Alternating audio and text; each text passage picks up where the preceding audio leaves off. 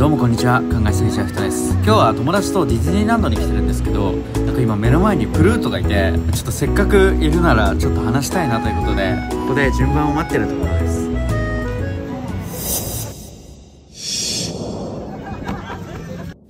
ちょっと待って。てかブルーベリー無色って名前のお菓子あるけどあれ名前大きく出すぎだろ。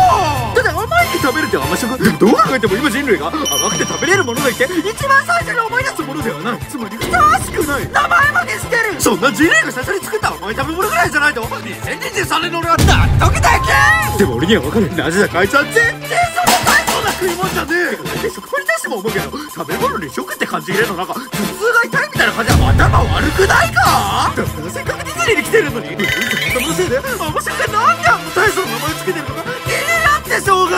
こうして僕は東京ディズニーランドが東京にないのに東京を冠にしていることはともかく。あの職員はおそらく関西圏には存在すら知られていないのにもかかわらず多分巻いた妙の代表みたいな面構えしていることに許しがたい怒りを感じたのでしたもし仮に俺があの食べ物を作ったらなんて命名をつける普通どんなにシンプルにつけても原料をもとにシュガーバターパンとか形から富士山パンとか何かしらの個性を持たせたいだろう。だってそんな人間で言ったら自分の子供にこう味噌かぼこをの哺乳類でつけるようなもんだから。何よ甘食ってその時代に絶対あるあんた自分によくその名前つけられたな。いや待てよ。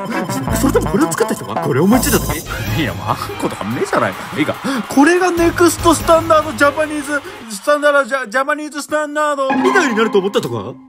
そんなわけないじゃんえ、でも待てよ。本当にそうなのよく考えてみたら、俺自身一度も甘食をちゃんと食ったことがない。ひょっとしたらめちゃくちゃ甘くて、その甘さ日本一で甘食というか甘を背負ってるのかもしれない。こうして僕はディズニーを早々にリラックス、スーパーに行き、人目を気にしながら甘食を購入。その味を確かめることにしました。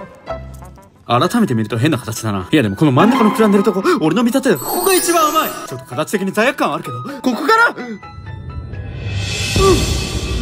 まあ。いや、甘いっちゃ甘いんだけど。言うてみたらし団子のが甘い。しかもめちゃくちゃ馬子にひっつく。こんな甘食屋に、フードスタンプとかにした方がいい。一体どんな由来なんだって何？明治時代、甘い食事用パンが略されて甘食ごめん、だから食事用パンって何？ああ、普通食事用なのよ。やばい、このままだと甘いものだと食場だぞ。それが甘食って世の中そんなんでいいのか。いや、ダメだ。名前って、名前ってそんな適当なもんじゃないだろ。あ、てかやばい。帰ったらスラミ君の動画更新されてんのみんな忘れてたわ。寿司ラーメンのシーン。え？学校。え、学校。あったのこの人。え、やばてか彼こそ、学校関連ってまさに実験系 YouTuber として、名前の大事さを誰よりも知ってる爆裂マウンテン創設学校。これもう甘食でい？なんだろう甘食爆裂マウンテンソーセージ学校もしかしたらこの世界って俺が思ってるよりずっと適当に生きたのかも。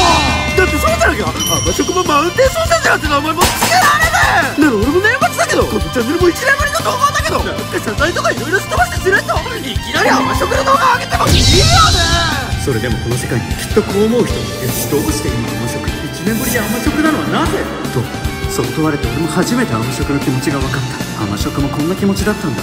その答えは？俺はなんでこうなったかよくわからん